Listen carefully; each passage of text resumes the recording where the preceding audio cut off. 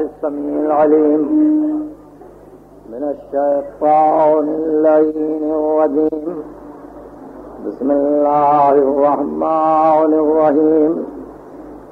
الحمد لله الذي هدانا لهذا وما كنا لنهتدي لولا أن هدانا الله. لقد جاءت رسل ربنا بالحق والصلاة والسلام على النبي الأمي الخاتم لما سبق والفاتح لمن غلق المعلن الحق بالحق بالحق وأهل بيته الطيبين الطاهرين المعصومين المظلومين الذين أذهب الله عنهم الرجس وطهرهم تطهيرا.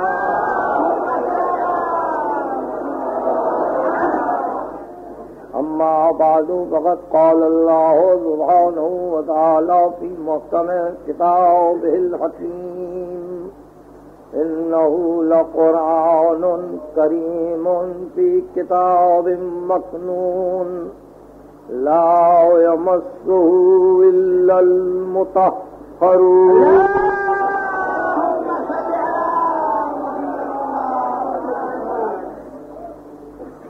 قرآن موجودہ ہے۔ اس عنوان پر یہ ہماری تیسری تقریر ہے۔ اور کل کی تقریر اسی وقت ہوگی، پرسوں کی تقریر کے لیے البتہ یہاں کا وقت بدلا ہوا ہے۔ بانیان مجلس آپ کو بدلے ہوئے وقت سے مطلع فرمائیں گے۔ میری مصروفیات یہ ہے کہ اتوار کو صبح ٹھیک ساڑھے آٹھ بجے رضویہ کالونی میں سید کاظم رضا مرحوم سابق آئی جی کراچی کے اصال ثواب کی مجلس ہے۔ اور میں نے اس میں تقریر کا وعدہ کیا ہے، ساڑھے آٹھ بجے توسخانی ہوگی اور ٹھیک نو بجے میں ممبر پر جاؤں گا۔ یہ مجلس یقیناً توفیق الہی دس بجے ختم ہوگی۔ اور اس کے بعد میں پھر یہاں کی مجلس کے لیے حاضری کی کوشش کروں گا۔ یہ اتوار کی صبح کی دو مجلسیں ایک ایسے وقت پہ آئی ہیں جبکہ میں رات کو ایک اہم ترین تقریر کر رہا ہوں پٹیل پارک میں۔ اور وہ مظلوم امام مشتبہ کے سلسلے میں ہے۔ یہ تو اتوار تک کے لیے ہے۔ اتوار کے بعد کے میرے تقریروں کے پروگرام کا علم آپ کو بعد میں یا پٹیل پارک میں یا رضویہ کالونی میں ہوگا۔ میں آپ کا وقت زیادہ نہیں لینا چاہتا۔ اعلانات میں مجھے صرف یہ عرض کرنا ہے کہ ہم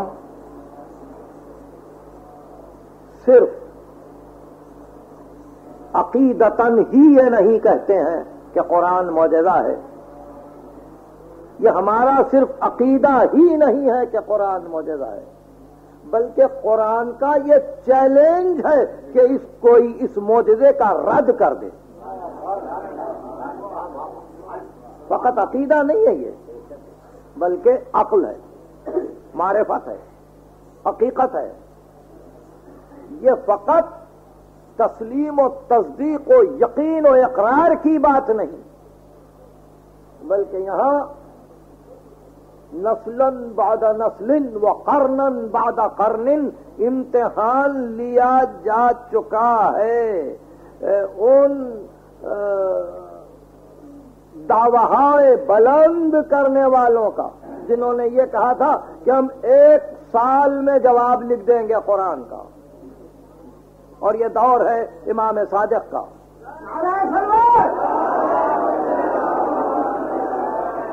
میں اپنی شاید آخری تقریر میں بتلاؤں گا ابن ابل اوجا جو دہ مشہور دہریا تھا وہ اور اس کے تین ساتھیوں نے یہ طے کر لیا تھا کہ یہ چھ ہزار دو سو چھتیس آئے تھے ہم ایک سال میں اس کا جواب دے دیں گے۔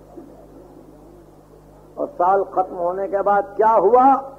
اس کو آپ میں سے کچھ بزرگ جانتے ہیں، اور ورنہ ہم جیسا کہ ارد کیا جا چکا پرسوں اس کی تفصیل دیں گے۔ قرآن موجزہ ہے، اجمال میں موجزہ ہے، تفصیل میں موجودہ ہے، ناسخ کے اعتبار سے موجودہ ہے، منسوخ کے اعتبار سے موجودہ ہے، محکم کے اعتبار سے موجودہ ہے۔ متشابہ کے اعتبار سے موجودہ ہے۔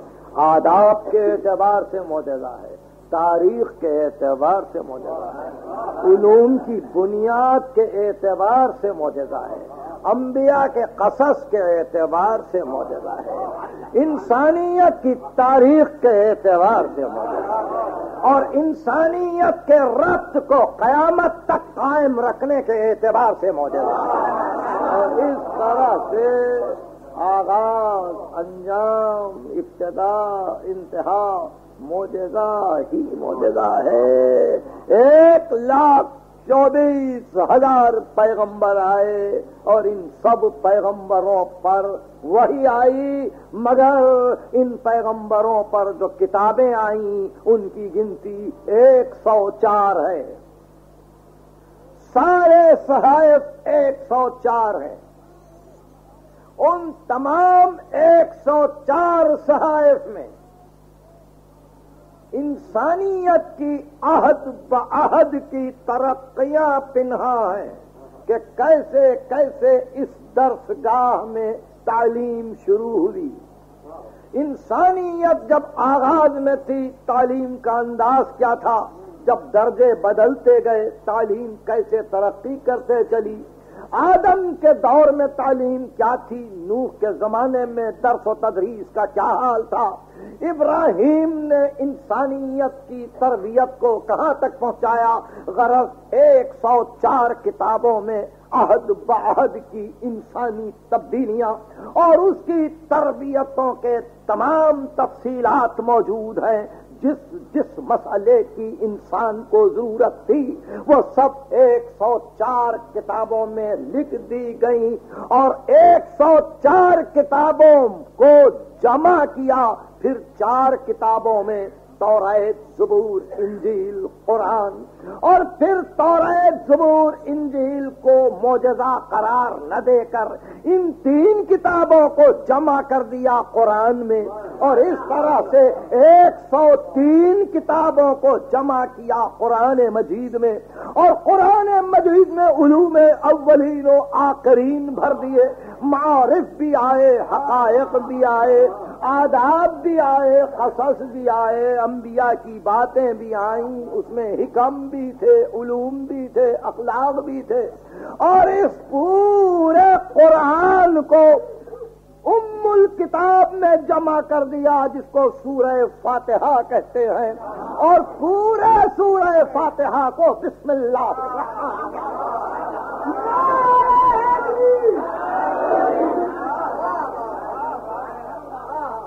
یہاں تک تو علماء متفق علماء متفق ہیں۔ کہ ام الکتاب میں کتب ما سبق کو رکھا اور ام الکتاب کو بسم اللہ الرحمن الرحیم میں رکھا۔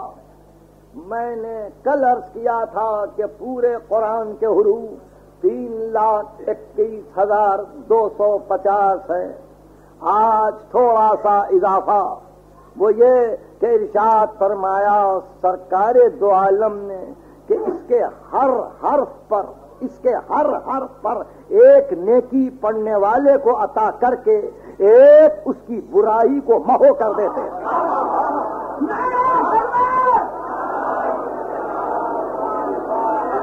اس کے ہر حرف پر ایک حسنہ کا اضافہ ہے۔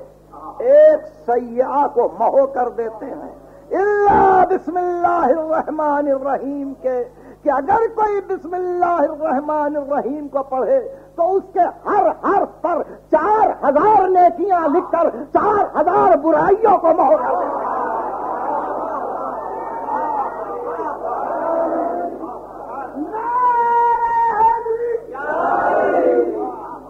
بسم اللہ الرحمن الرحیم کے ہر حرف پر چار ہزار نیکیوں کو لکھتے ہیں اور چار ہزار برائیوں کو مہو کر دیتے ہیں۔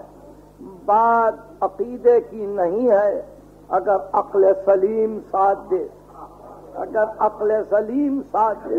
اور اگر وجدان قبول کرے، اور اگر نہائے معرفت پہ آدمی جائے، تو پتا چلے کہ بسم اللہ الرحمن الرحیم کیا ہے۔ آئیے میرے ساتھ ساتھ دو چار دقیقوں کے لیے فکر کریں گے بسم اللہ الرحمن الرحیم میں۔ ہزاروں مرتبہ آپ نے بھی گفتگو سنی ہے۔ ایک یہ بھی گفتگو ذہن میں رہے۔ ہر انسان جب کوئی گھر بناتا ہے، چاہتا یہ ہے کہ جس گھر میں اس کی ساری بزاعت ختم ہوئی ہے، اس کا کوئی اچھا سا نام رکھے۔ اس کو کسی اچھے سے نسبت دے کہ جو نام سب سے زیادہ محبوب ہوتا ہے وہ نام گھر کے لیے پسند کیا جاتا ہے۔ جس انسان کو سب سے زیادہ پسند کرتا ہے، اسی کے نام سے گھر کو منسوخ کر دیتا ہے۔ کوئی انسان سب سے بہتر کتاب لکھتا ہے۔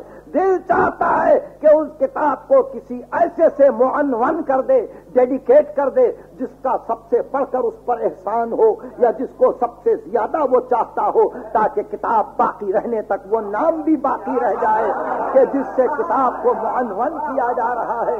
اور اسی طرح سے سرا، کنویں، مدرسے شفا خانے انسان جو کچھ امتداد زمانی میں چھوڑے یا امتداد عقلی میں چھوڑے، ایک طویل زمانے کے لیے جس چیز کو چھوڑے، چاہتا ہے کہ کسی ایسے سے منسوخ کرے کہ جس کی نسبت سے کتاب کو عزت ہو، مکان کو عزت ہو، سرا کو عزت ہو شفا خانے کو عزت ہو، مدرسے کے عزت ہو، اب اللہ نے اس کتاب کو شروع کیا ہے؟ کس کے نام سے معنون کرے؟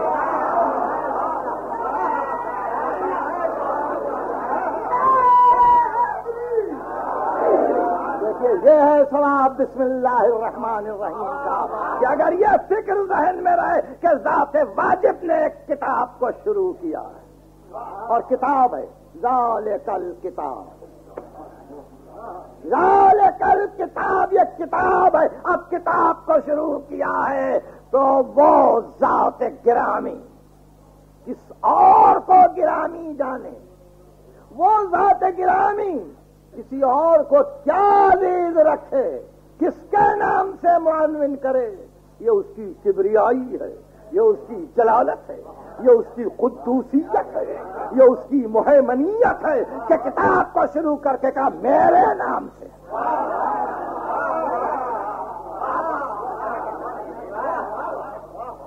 ہے کسی کی مجال کائنات میں۔ ہے کسی کی مدال کائنات میں جو کتاب لکھ کے کہے، میرے نام سے شروع کرتا ہوں۔ کوئی ہے، یہ ہے موجودہ قرآن۔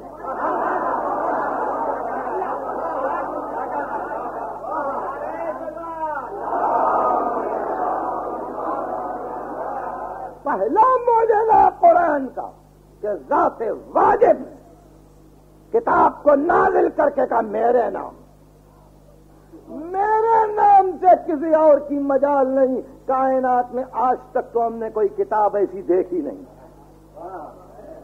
نہ کسی نے تذکرہ کیا کہ کتاب لکھنے والے نے کہا ہو کہ میرے نام، یہ اسی کو زیب دے گیا۔ اسی کو زیب دے گیا جو یہ جانتا ہے کہ میرا نام بلند ہے۔ میری کتاب بلند ہے۔ میرے نام میں جلالت ہے۔ میری کتاب میں جلالت ہے۔ میرے نام میں فخر ہے۔ میری کتاب میں فخر ہے۔ میرے نام میں شک نہیں ہے۔ میری کتاب میں شک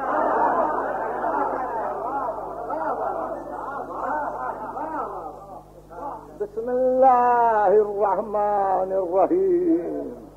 ایک سو چار کتابوں کو جمع کیا ہے اس ایک آیت میں، جس کے ایک ایک حرف پر چار ہزار نیکیاں جس کے ایک ایک حرف کی تلاوت سے چار ہزار کوتاہیاں دور ہو جائیں۔ کوتاہیاں دور ہو جائیں۔ مگر دل ساتھ دے، دماغ ساتھ دے، قبول کی قوت ساتھ دے۔ اللہ کے نام سے۔ اللہ کے نام سے، میرے نام سے، کبریا کے نام سے، قدوس و محمن کے نام سے، ملک و مختار کے نام سے، شروع کیا تعریف کی اس میں ذات کی کہ رحمان بھی ہے رہی رحمان بھی ہے، رحیم بھی ہے۔ آج تک تفسیریں لکھی جا رہی ہیں۔ اور آپ کو معلوم ہے، آج تک بسم اللہ الرحمن الرحیم کی تفسیر مکمل نہ ہو سکی۔ ہزار ہزار صفحے لکھ کر مفسر نے آخر میں لکھا کہ گما مبر کے بپایا رسید کار مقام ہزار بادے ناخردہ در رگے طاقت۔ ابھی بہت کچھ رہ گیا ہے، بہت کچھ رہ گیا ہے۔ حق ادا نہ ہو سکا، ذات لا محدود کو، محدود کون کرے؟ ہزار سفے ہو یا ہزار ہزار سفے وہ اللہ کیسے محدود ہو جائے؟ رحمان و رحیم کیسے محدود ہو جائے؟ کس طرح سے کوئی توصیف کرے؟ بسم اللہ الرحمن الرحیم کی۔ مگر نام سے اللہ کے شروع کرتے ہیں، جو رحمان ہے۔ رحیم ہے، رحمان ہے۔ صفت خاص، اس میں خاص صفت عام۔ اس میں خاص صفت عام یعنی رحمان وہ جو موسا فرعون دونوں کو پالے۔ رحمان وہ جو ابراہیم و نمرود دونوں کی پرورش کرے۔ رحمان وہ جو محمد و ابو جہل دونوں کو سہارا رحمان وہ جس کے خان نعمت پر اس کی خدائی کا انکار کرنے والے شوق سے بیٹھ کے زندگی بسر کریں۔ اور رحمان وہ جو سب کو ایک نظر سے دیکھے، اس میں خاص صفت عام۔ اس میں خاص ایسا کہ باپ کو رحیم کہیں گے، رحمان نہیں کہتے۔ استاد کو رحیم کہیں گے، رحمان نہیں کہتے۔ حاکم کو رحیم کہیں گے، رحمان نہیں کہتے۔ اسم خاص ہے، مگر عمل عام ہے۔ باتیں سمجھ میں آ رہی ہیں۔ رحمان! اسم خاص ہے صفت عام، رحیم اسم عام ہے صفت خاص۔ رحیم وہ کہ اطاعت کا سلا دینے والا، خدمت کا سلا دینے والا، قیامت میں مومن کو سلا دینے والا، اس کی استطاعت کے مطابق عطا کرنے والا، جنتوں تک پہنچانے والا۔ یہ مقام رحیمیت ہے، وہ مقام رحمانیت ہے۔ ایک ہی رحمت کے دو جمدے ہیں، ایک میں عمومیت ہے، ایک میں خصوص خصوصیت ہے یہ عمومیت اور خصوصیت کو جب ملایا تو آرازی، وما صلاح کا اللہ رحمت اللہ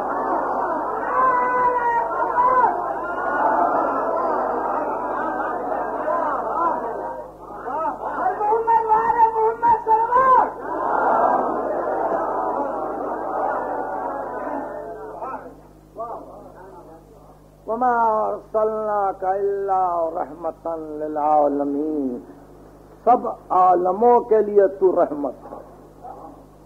عالموں کے لیے رحمت ہے۔ ادھر رحمان کا مظہر ہے، ادھر رحیم کا مظہر ہے۔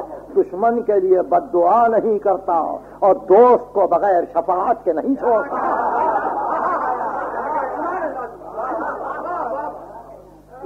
رحمان کا بھی مظہر ہے، رحیم کا بھی مظہر ہے۔ بسم اللہ الرحمن الرحیم۔ رحمان، اس میں خاص صفت عام، اور رحیم اس میں عام، مگر اس کی کیفیت خاص کے ساتھ۔ یہ دو نام مذکور ہوئے، رحمانیت وہ، جس کا تعلق معاش عالم سے ہو۔ رحیمیت وہ کہ جس کا تعلق معاد مومن سے ہو۔ ایک کا تعلق معاش عالم سے ہو۔ ایک کا تعلق معاد مومن سے ہو۔ رحمان وہ کہ لمن جہد ہوں کہ جو اس سے لڑ پڑے اسی سے رحمان۔ جو اس سے جھگڑا مال لے اسی سے رحمان۔ کہ اور جی لے۔ جی لے لڑ رہا ہے اور کھا لے یہ ہوائیں تیرے لیے، یہ پانی تیرے لیے، یہ حیات تیرے لیے۔ لے یہ محلت طویل۔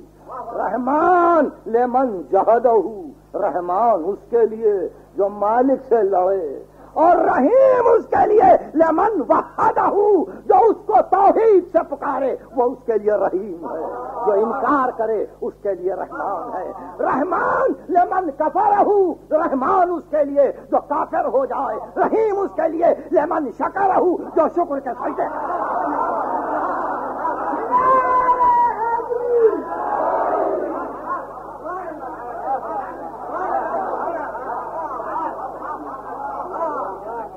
رحمان اور رحیم۔ دنیا کو حیرانی ہے کہ یہ فرق کہاں سے نکالا گیا۔ یہ زبان عصمت ہے۔ یہ مزاج عصمت ہے۔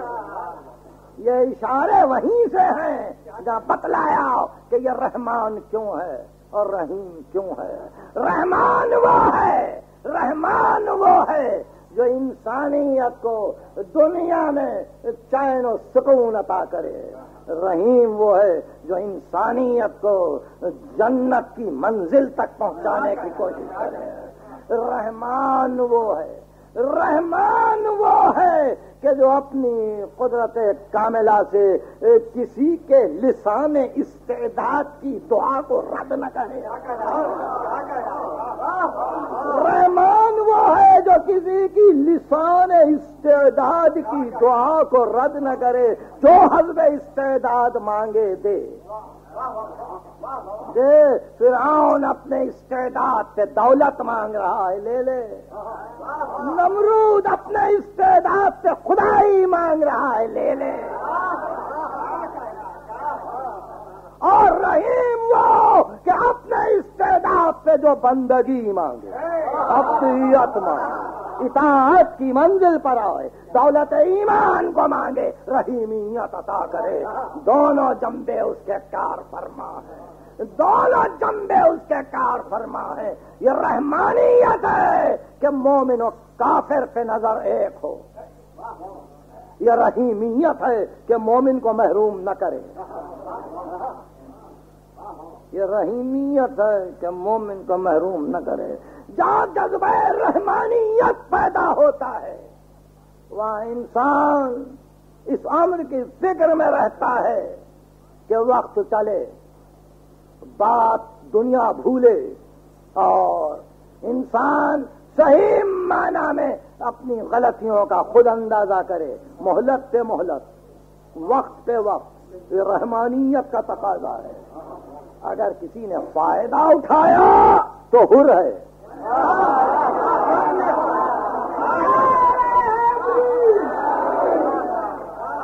فائدہ اٹھایا رات بھر طرف کے تو ہر ہے۔ فائدہ نہیں اٹھایا تو ابن سعد ہے۔ وہ بھی رات بھر جاگا، یہ بھی رات بھر دونوں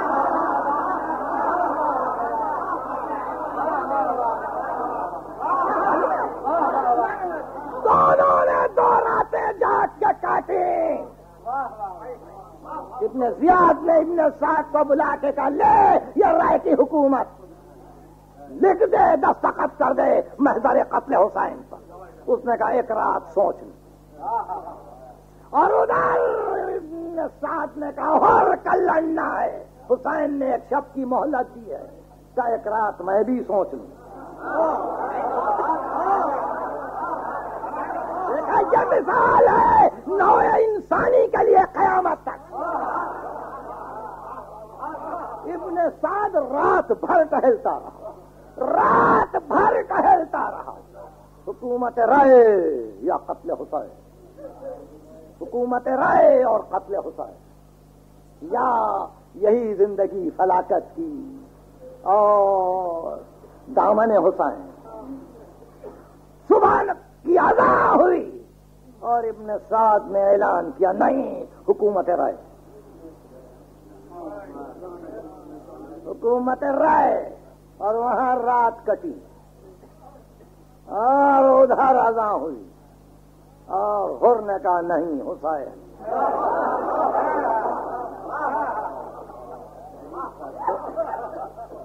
گفتگو سمجھ میں آ رہی ہے۔ مہلت سب کو دیتے ہیں۔ یہ بحث میں تکرار نہیں چاہتا تھا پٹیل پارک کی تقریر، مگر اس مقام پہ تکرار کرتا ہوں جہاں سے میں فکر میں اضافہ کرنا چاہتا ہوں۔ میں نے صرف اور کا تذکرہ کیا تھا نشتر پارک میں، ابن صاحب کا تذکرہ نہیں کیا۔ میں یہ بتلانا چاہتا ہوں، دونوں کا مہلت دی۔ اور امتحان کی منزل پر لا کر تاریخ میں کھڑا کر دیا۔ کہ رات گزارو رات گزارو، دیکھو نتیجہ کیا ہے۔ دونوں نے دو راتیں گزاری۔ ایک باطل کی طرف گیا۔ ایک حق کی طرف آیا۔ جو باطل کی طرف گیا، وہ حق کا نقصان نہ کر سکا۔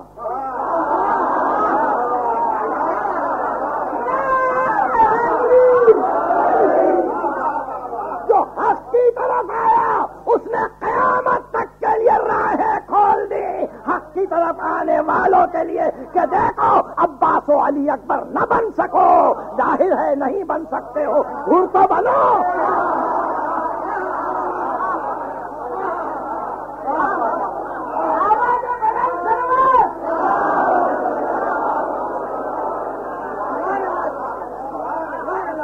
گفتگو یہ اس لیے چھڑ گئی ارشاد ہوا، کل ان میں تو ہاں وہ ہاں ہم سب کی مدد کرتے ہیں۔ ہم ان کی بھی مدد کرتے ہیں۔ ہم ان کی بھی مدد کرتے ہیں۔ یہ ہے مقام رحمانیہ کلن ان میں تو ہاں وہ جو دنیا طلب کرے، ہم اس کی بھی مدد کرتے ہیں۔ جو آخرت مانگے، ہم اس کی بھی مدد کرتے ہیں۔ کل میں دو ہاؤ لائے وہ ہاؤ لائے ہم ان کی بھی مدد کرتے ہیں۔ ہم ان کی بھی مدد کرتے ہیں۔ ماں کان آتا رب کا محضورا تیرے رب کی عطا منقطع نہیں ہے تیرے رب کی عطا محدود نہیں ہے۔ اگر زبان کفر سے کوئی زندگی کفر کی مانگے تو روکیں گے نہیں۔ بہت اور دنیا ہے میں امیر ترین راہوں سے آپ کو لے جا رہا ہوں۔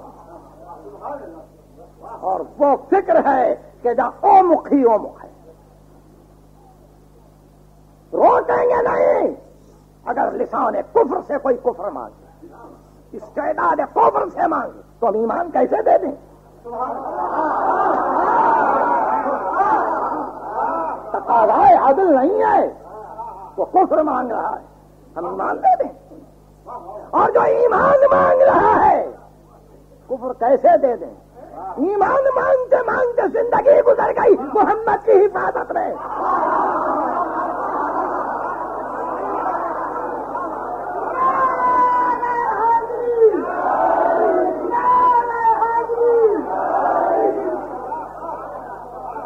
کیسے کفر دے دیں؟ دنیا نہ پہچانے۔ دنیا نہ پہچانے مگر دنیا کے کافر کہنے سے کوئی مومن کافر نہیں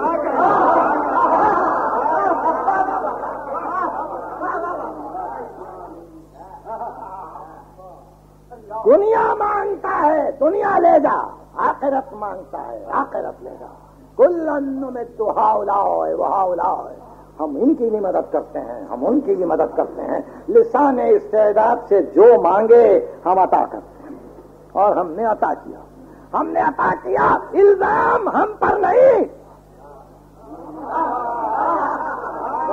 الزام ہم پر نہیں۔ اس لیے کہ حجتیں آ چکی تھیں۔ انبیاء آ چکے تھے، رسول آ چکے تھے۔ کتابیں آ چکی تھیں، احکام پہنچ چکے تھے، عقل جیسی حجت دی جا چکی تھی۔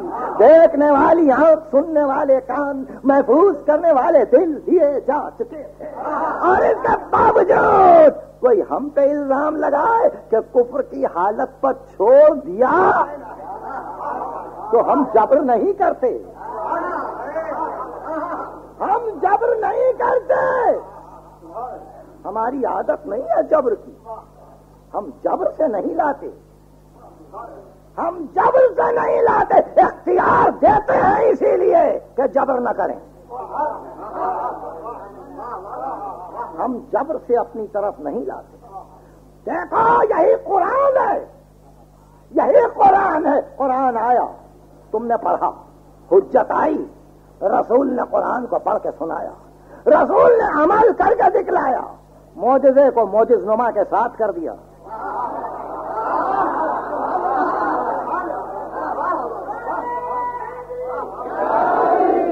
اور اس طرح سے قرآن پہنچایا۔ آپ سنا قرآن کی تعریف۔ قرآن کی تعریف یہ یوزل بہی کثیرن، وہ یہدی بہی کثیرا۔ اسی قرآن سے بہت سے گمراہ ہو گئے۔ اسی قرآن سے بہت سو نے ہدایت پائی۔ آج تک ملت حیران ہے۔ آج تک ملت حیران ہے کہ یہ قرآن کی تعریف کیا کر دی۔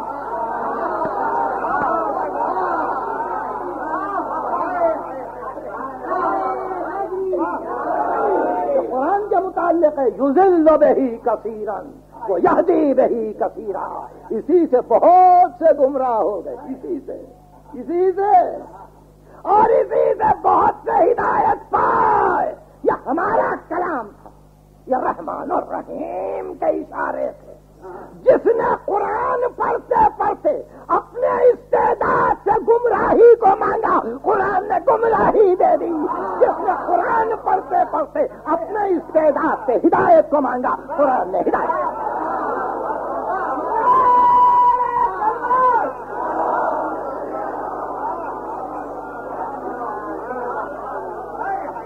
سہمت دے رہا ہوں سہمت دے رہا ہوں مگر جیسا کہ میں نے عرض کیا، فکر عمیق ہے. گھبرائے نہیں.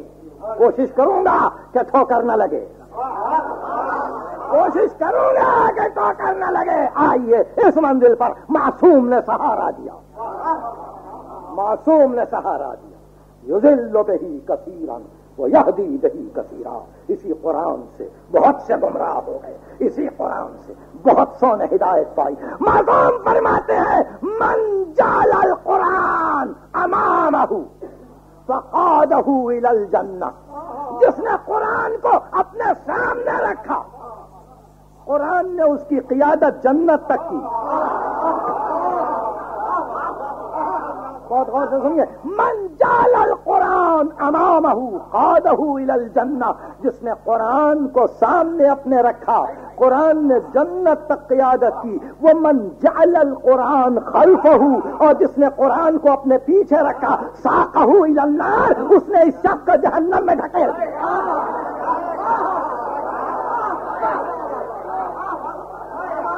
دیکھا آپ نے؟ یوزل بہی کثیر یہدی بہی کثیر بہت سے گمراہ ہو گئے، بہت سے ہدایت پائے۔ قرآن کو سامنے رکھ کے چلنا ہے۔ قرآن کو پیچھے نہیں رکھنا ہے کہ جو ہم کہیں گے وہ قرآن پر منطبق ہو۔ ایسا نہیں، جو قرآن کہے اس پہ ہم منطبق ہو۔ جائیں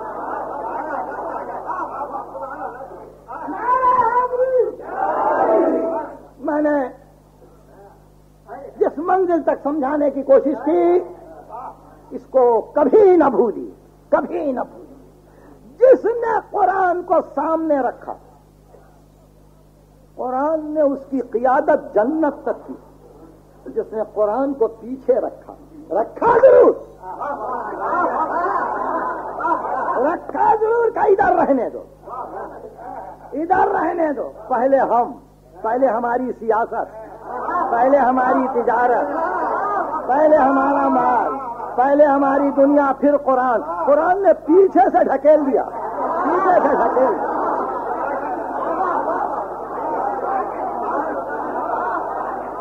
دیکھ رہے عجیب الفاظ ہیں، یہ معصوم ہی اشارہ فرما سکتے ہیں۔ سامنے رکھا تو جنت تک کھینچا۔ قرآن کو پیچھے رکھا، پیچھے سے قرآن نے ڈھکیل دیا۔ جاؤ جہنم جاؤ جہنم میں۔ تم یہ سمجھتے تھے کہ تمہارا تابع قرآن رہے دیکھیے، فرق ہے۔ ماننا ہے قرآن کو۔ فرق یہ ہے کہ قرآن کا تابع ہے مسلمان۔ یا مسلمان کے تابع ہے قرآن۔ آپ اپنے حزب مراد قرآن کو استعمال کریں گے یا قرآن کے مراد پر آپ چلیں گے۔ بس اتنا پر تھا یوزل بہی کثیر وہ بہی کثیرہ اسی قرآن سے بہت سے گمراہ ہوئے، اسی قرآن سے بہت سو نے ہدایت پائی۔ بہت سو نے ہدایت پائی، قرآن موجودہ ہے اور ہر آن موجودہ ہر گام موجودہ ہر نفس موجودہ آج تیرہ سو اٹھاسی کے آغاز میں قرآن موجودہ قرآن موجودہ میں نے زحمت دی۔ مجھے عجیب فکر اس عمر کی لاحق ہوتی ہے کہ تقریر کے بہاؤ میں وقت اتنا سری سیر ہو جاتا ہے، کہ پتا بھی نہیں چلتا کہ ہم نے کتنا وقت آپ کا لے لیا، مگر جو بھی وقت لیا جا رہا ہے، وہ انتہائی کام میں گزر رہا ہے۔ ظاہر ہے کہ آپ کچھ سوچ رہے ہیں، آپ کچھ محفوظ کر رہے ہیں۔ آج بھی موجودہ ہے یعنی جس کے لیے قرآن کہہ دے۔ کل بھی یہی بحث تھی۔ جس کے لیے قرآن کہہ دے اور جو کہہ دے، پھر اس کو کوئی دنیا کی طاقت بدل نہیں سکتی۔ دنیا کی طاقت بدل نہیں سکتی۔ اگر قانون کو خزانہ سمیت زمین میں دفن کر دیا، تو دنیا آج تک اس کو ابھار نہ سکی۔ اور فرعون کو اگر دریائے نیل میں غرق کر دیا تو عقل کی دنیا اس کے دامن پر کوئی عزت کا نشان نہ ڈال سکی۔ جس کو ذلت دے دے قرآن، ہمیشہ کے لیے ذلیل ہے۔ جس کو عزت دے قرآن، ہمیشہ کے لیے عزیز ہے۔ اور قرآن جس کے لیے یہ اعلان کر دے اور مسلسل التظام کے ساتھ اعلان کرے کہ ہر نبی سے یہ کہے، کہتے جاؤ، محنت کر رہا ہوں آجر نہیں مانگوں گا۔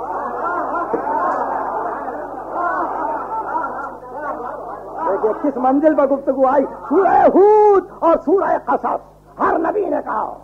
ما اسألکم علیہ اجرا ان اجری اللہ اللہ اجر نہیں مانگتا اجر اللہ دے گا. اجر نہیں مانگتا اجر اللہ دے گا. اس لیے کہ نبی کو جانا تھا، شریعت کو جانا تھا، قانون کو جانا تھا، اس ملت کو ختم ہونا تھا، احکام کو منسوخ ہونا تھا۔ اس لیے کسی نبی کی ہمت نہیں تھی کہ کسی اجر کا تذکرہ کرے۔ اس لیے کہ ہر نبی اپنی نبوت کے باوجود تابع مظہر رحمان و رحیم تھا۔ میرے لفظ بغور کیجیے۔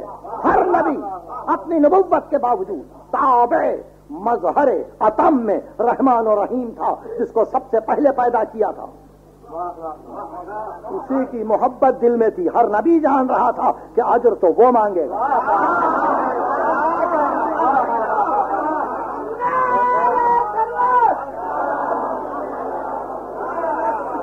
اب اس یہ قرآن کا موجودہ ہے کہ جب اس نبی کا تذکرہ آیا تو تین مقام پر تین آیتیں آئیں۔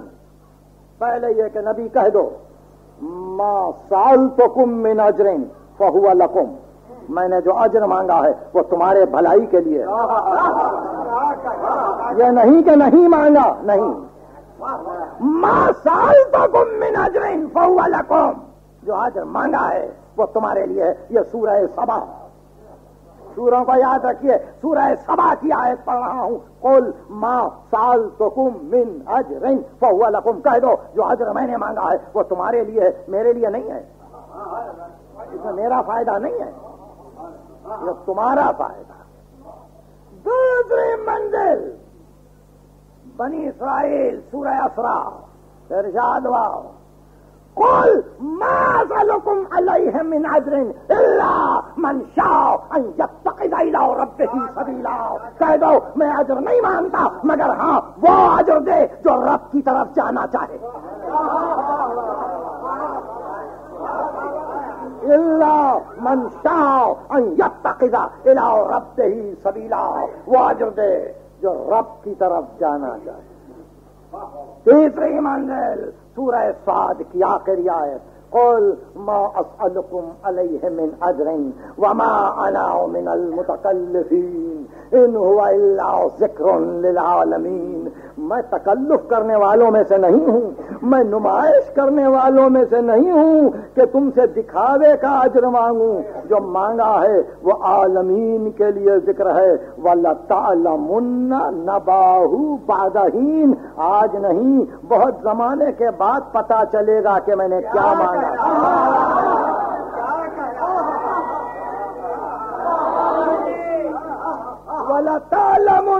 نباہو بادہین سورہ سعد کی آخری آیت کہ تم کو علم ہوگا ایک زمانے کے بعد کہ میں نے کیا مانگا ہے۔ اب جو اجر مانگا وہ سورہ شورا میں تھا۔ اور کہا کہ نہیں چاہتا ہوں کوئی اجر۔ یہ قرآن کا موجودہ بتلا رہا ہوں۔ المودت فی القربا مگر یہ کہ قربا کی مودت۔ مگر یہ کہ قربا کی مودت۔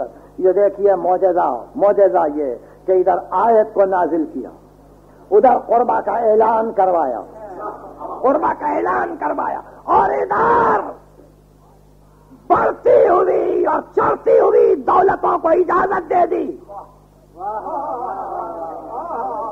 کہ تم اپنے قرابت داروں کو بلند کر کے بتلاؤ، کیا موجت کے مرکز بن سکتے ہیں؟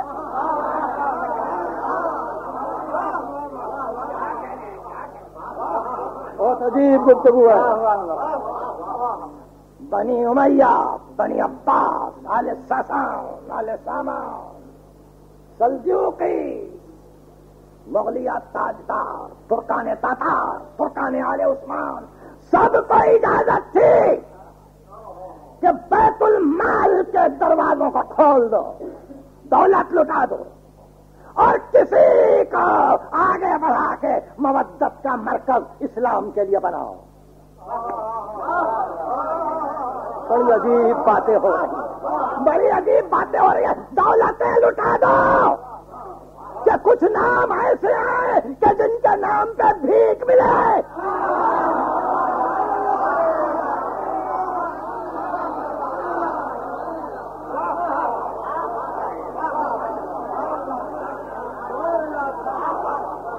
دولتیں لٹا دو۔ کسی کو ابھارو، تقدس میں ابھارو روحبانیت میں ابھارو گوشہ نشینی میں ابھارو، زود و تقوا کے ڈنکے پٹوا دو۔ علوم کے لیے دنیا کے کتاب خانوں کو ان کی تصانیر سے بھر دو۔ اور طاقت سے دلوں کو ادھر موڑ کے بتاؤ۔ دلوں کو ادھر موڑ کے بتاؤ۔ دشمن سے ہی زمانہ۔ زمانہ دشمن سے ہی مگر ان سے ہٹ نہیں سکتا۔ زمانہ کسی فقہ پر صحیح۔ کسی فقہ پر صحیح۔ مالکی، شافعی ہمبلی حنفی، کسی فقہ پر صحیح۔ محبت ان سے ہے۔ محبت ان سے ہے، سر یہیں جھکتے ہیں۔ کیوں؟ موجزہ ہے قرآن کا۔ کسی ایک بات پر اگر آتا ہے قرآن تو اس کی تیاری صدیوں پہلے ہوتی ہے۔ ابراہیم نے دعا کی تھی کہ میں اپنی ایک ضروریت کو ایک ایسے میدان میں آباد کرنا چاہتا ہوں جو مقام تیرے بیت محترم سے قریب ہے۔ رب بناؤ انی اسکل من ضروریتی بہت ان گئی ان بیت کل محرم رب بناؤ لے یقین السلاد پروردگار، یہ لوگ نماز کو قائم کریں گے۔ سلطنتوں کو نہیں۔ دولتوں کو نہیں، اسلامی مملکتوں کو نہیں۔ لے یقین مالک دعا اتنی ہے وجل افعدتم من الناس تحویل پروردگار، انسانوں کے دلوں کو ان کی طرف سے۔ ان کی طرف پھیر دے یہ دل پھرے رہے۔ قرآن گیارہ ہجری میں وہی ختم ہوئی، تیرہ سو اٹھاسی میں بھی موجودہ ہے۔ کوئی گھرانے کو ملت بلند کر کے بتلائے کہ دنیا کے دل، مسلمانوں کے دل اس گھرانے کی طرف سے ہوئے ہوں تو ہم سمجھیں گے کہ قرآن نے واقعی اپنے اعجاز کو کھو دیا۔ یہ موجزہ ہے یہ موجزہ ہے قرآن کا۔ کہ جس کو کہا قربا وہ قیامت تک قربا۔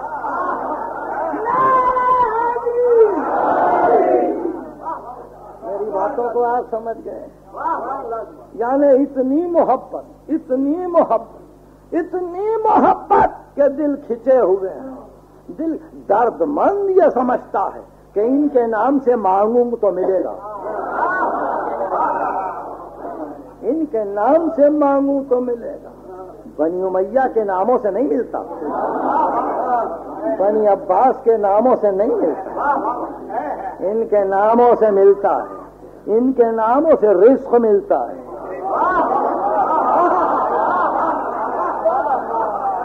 میں نے کچھ کہہ دیا ہے۔ ان کے ناموں سے رزق ملتا ہے۔ کسی دوسرے دروازے پہ جاتے ہوئے سائل کا دل گھبراتا۔ سائل عموماً پہچانتے ہیں دروازوں کو۔ سائل پہچانتے ہیں دروازوں کو، انجان نہیں جاتے۔ دیکھ کے پکارتے ہیں کہ دیتا کون ہے؟ خود نادار کون ہے؟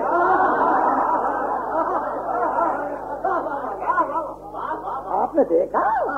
کبھی کھڑے ہو کے کسی مقام پہ سائل کی نفسیات کو دیکھیے، کس دروازے سے انجان گزرتا ہے؟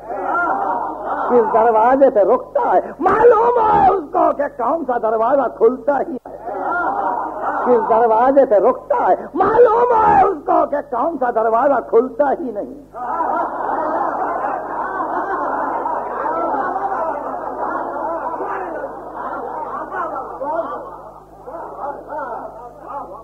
ثاقب لکھنوی کا ایک شعر یاد رکھیے۔ دے صدا اے دل مگر نقش قدم کو دیکھ کر۔ دے صدا ہے دل۔ مگر نقش قدم کو دیکھ کر ایسے بھی در ہے کبھی جن پر کوئی سائل نہ تھا۔ ایسے بھی در ہے کبھی جن پر کوئی سائل نہ تھا۔ دے سدائے دل، مگر نقش قدم کو دیکھ کر سوال کرنے والوں کے نقش قدم کو دیکھ کے سوال کرو۔ وہاں نہ جاؤ جن کے دروازوں پر سائل نہیں کھڑے ہوتے۔ یہی وہ منزل ہے، یہ قرآن کا موجودہ ہے کہ دل آج تک اسی طرف لگے ہوئے ہیں۔ اور دل قیامت تک اسی طرف لگے ہوئے ہوں گے۔ یہ اور بحث ہے کہ پیغمبر تبلیغ رسالت کی مزدوری لے سکتے تھے یا نہیں لے سکتے تھے، یہ اور بات ہے کہ آج رسالت کا حق پیغمبر کو پہنچتا تھا کہ نہیں پہنچتا تھا۔ یہ اور بات ہے کہ قربا سے مراد کون تھے، وہ تھے یا امت تھی، میں اب بحث نہیں کروں گا۔ میں اس نتیجے پہ پہنچا، فلسفہ نتائجیت کے اعتبار سے، پریگمیٹزم کے اعتبار سے کہ میں دیکھتا ہوں کہ چند ایسے افراد ہیں کہ جن کی طرف دل مڑے ہوئے ہیں، دل چھٹے ہوئے ہیں، دل جن کو چاہتے ہیں، ان کی طرف سے کسی اور کی طرف دل نہیں جھکتے، کیوں نہیں جھکتے؟ یہ تو وہ افراد ہیں جن کے پاس دولتیں نہ تھیں، حکومتیں نہ تھیں، سلطنتیں نہ تھیں، وجاہتیں نہ تھیں، خدم نہ تھا، خشم نہ تھا۔ ارے، یہ تو وہ افراد ہیں جن کی زندگیاں قید میں گزر گئیں، جو اسیر رہے، جو مظلوم رہے۔ کیا بات ہے؟ دل ان کی طرف کیوں جھکتے ہیں؟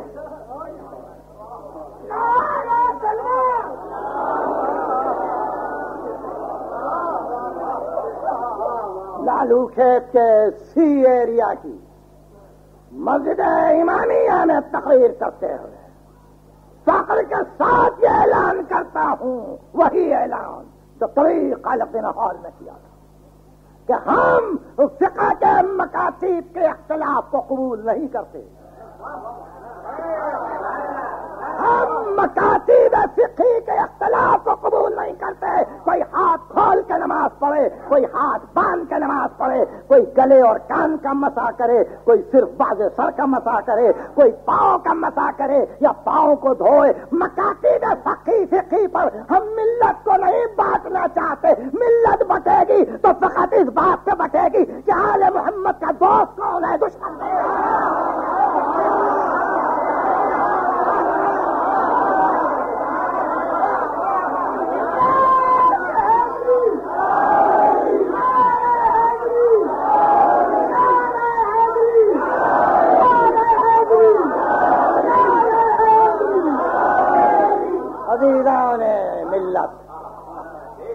سمجھ گئے کہ یہ وہ منزل ہے کہ جہاں قرآن موجودہ ہے قرآن نے تعارف کروایا ہے قرآن نے تعارف کروایا ہے اگر آئے مبت نے سراہت نہیں کی اگر آئے تصیر نے سراہت نہیں کی وقت ہو چکا کل وہ آیت سراہت کرے گی کہ جہاں سر خود بخود جھکیں گے۔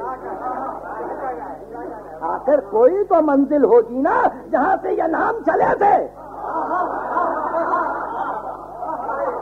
میں ذات ختم پر ختم بدہن معاذ اللہ، میری زبان گونگ ہو جائے اگر میں یہ الزام لگاؤں کہ انہوں نے اپنے خواہش نفس سے اپنے قرابت داروں کو پیش کیا۔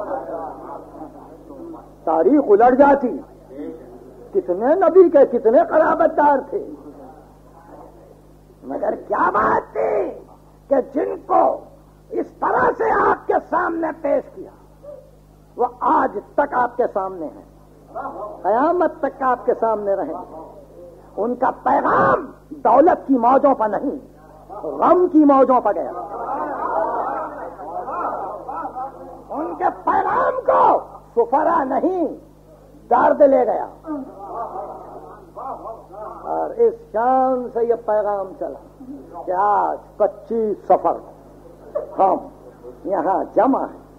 ایک عجیب بات ہے، معلوم نہیں کیوں، تحقیق نہیں تحقیق نہیں ہے۔ مگر عام طور پہ آج پچیس سفر عورتیں، بچے، آج بی بی زینب کا تذکرہ۔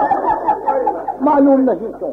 میں تحقیق کا ذمہ دار ہوں آج شہزادی زینب کا تذکرہ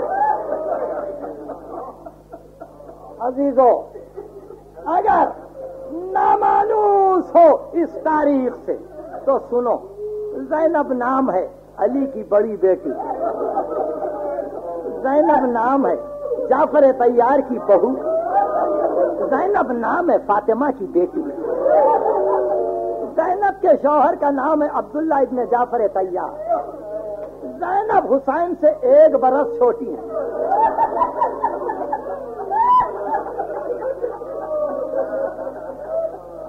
کربلا میں زینب کا سنگھ چھپن سال کا۔ حسین ستاون برس کے۔ چھوٹی بہن ہے۔ مگر بہن بلائے تو بھائی آ جائے۔ بہن پکارے تو بھائی لبے۔ بہن سے مشورہ کرے۔ اور میرے سلسلے کلام میں آئے گا۔ مجھے معاف کیجیے میں پندرہ منٹ آج اور زیادہ لوں اس لیے کہ شہزادی کا تذکرہ شہزادی کا تذکرہ چھڑے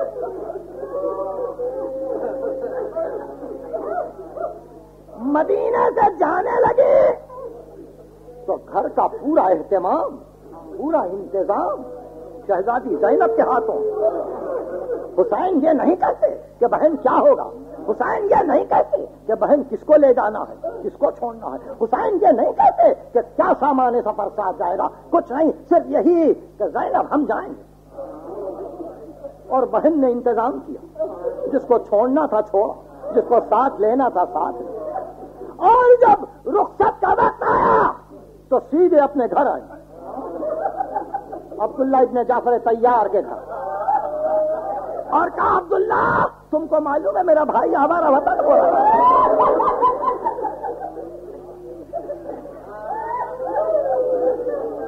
عبداللہ، تم جانتے ہو، زینب بھائی کو اکیلا نہیں چھوڑے۔ کا شہزادی، میری بھی تو یہی تمنا تھی کہ میں بھی ساتھ چلوں۔ مگر شہزادی میرے پاؤں بیکار ہو گئے۔ اپنے بیٹھنے سے معذور۔ شہزادی، ضرور جاؤ ضرور جاؤ۔ میں مکے میں آ کے ملوں گا۔ عبداللہ ابن جعفر تیار، مکہ۔ حسین ابن علی مکے میں آٹھ ذلحج تک ہیں۔ سات ذلحج کی شام کو عبداللہ ابن جعفر تیار، مکہ پر۔ حسین کی خدمت میں قدم بوسی کے بعد عرض کیا، مالک و مختار غلام کی ایک اور وہ خواہش یہ مولا، کہ میں حاضری سے محروم ہوں۔ دل کی تمنا یہ تھی کہ کربلا چلتا۔ مگر یہ میرے بیٹے ہیں۔ میں ان کو صدقہ کرنے کے لیے آیا ہوں۔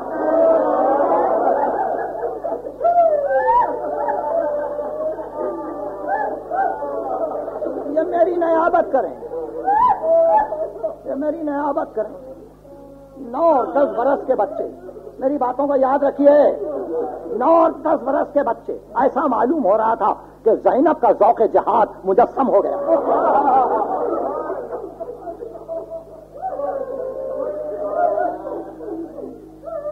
کربلا پہنچی۔ کنبے کی سردار ہے زینب۔ بچوں کو قربان کیا۔ کربلا سے چلی تو اب اختیارات کل لے کر چلی امام کی محافظ بن کے چلی اہل بیت کی رکھوالی بن کے چلے۔ شام آئے تو ایک بچی کو امام نے زینب کے حوالے کیا۔ تھا وہ بچی شام میں رہ گئی۔ وہ بچی شام میں چھوٹ گئی۔ تو بچی کو دفن کرتے ہوئے کہا، سکینہ، نہ گھبرانا، میں بھی آؤں گی۔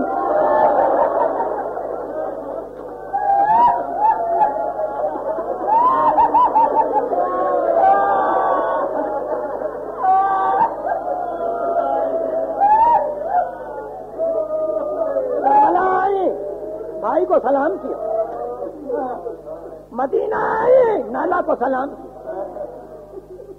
مگر بھائی اور نانا سے کچھ کہہ نہ سکے۔ لڑکیاں عموماً دل کی باتیں ماں سے کہیں۔ اس لیے جب جنت البقی کے قبرستان میں آئی تو ماں سے کہا، ماں بازو کے نشان دکھلاؤ۔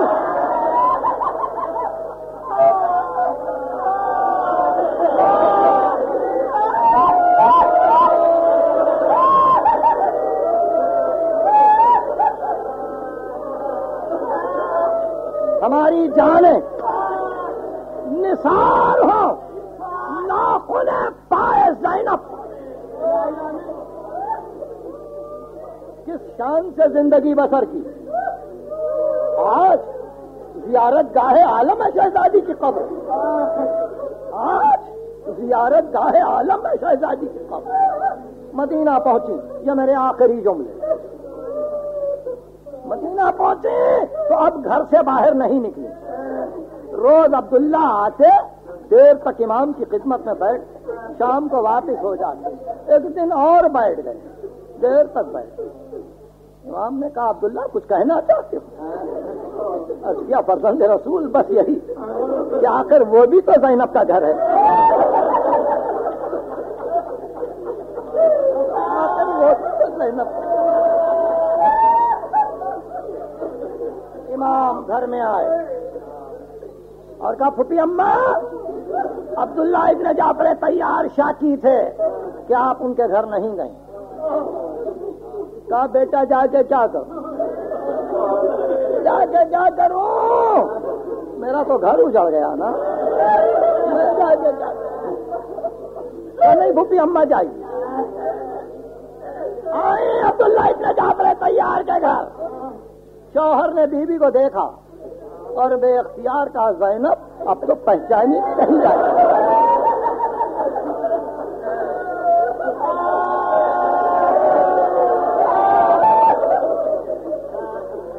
زینب اب تو پہچانی بھی نہیں جاتی۔ ہاں عبداللہ جس کا بھائی مر جائے۔ وہ کیا پہچان عبداللہ تم نے کیوں بلایا؟ تم نے اس لیے بلایا؟ کیا ہو محمد کا کیا حال عبداللہ نے اپنے منہ پہ تماچے مارے۔ کبھی بھی غلاموں کا کیا ذکر بی بی غلاموں کا کیا ذکر ہے؟ میں نے اس لیے نہیں رحمت دی۔ تو عبداللہ، تم پوچھنا کیا چاہتے ہو؟ کیا پوچھنا چاہتے ہو؟ شہزادی، میں نے میں نے صفین کے میدان میں حسین کی لڑائی کو دیکھا۔ شہزادی صرف اتنا بتلاؤ کربلا میں میرا بھائی لڑا گئے